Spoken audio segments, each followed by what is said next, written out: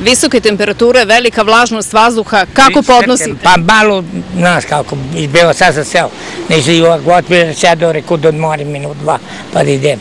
Kako Nije do- podnosite ovu? Pa ovu- nije dobro, nije izbegavam, zato morao sam sad obaviti tu neke poslove i tako. Jel mora da se dolazi po vrućini? Pa mora, da da mora ne bi došlo. Kako se raskladite kad je To- toplo, kad je, kad Pa je kiša? begam po ladu, izbegavam. Ste palančanin ili Iz negde? Ali imam manje u Palanku, pet ekra u, planu. Lepo. U hladovini? Ma i u hlobodovini i na sunce, mene sunce ne smeta. Uopšte. Ja mogu sad idem da kopam bašticu ili nešto, da čupam travu. A kiša? Kiša gori od kiša. Kažite mi, e, velika je vlažnost vazduha, kako podnosite? Lepo.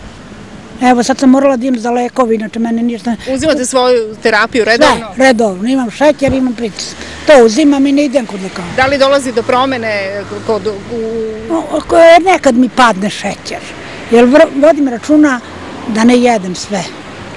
I onda, posle kad padne, ja brže uzmem malo nešto slatko i tako. voda tu, neprikosnovena? To je.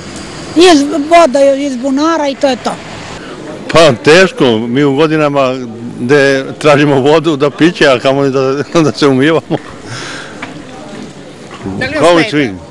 Pa ne smeta, ja sam čovjek koji šeta i voda brzo izlazi. Brzo od mene oslobađa se.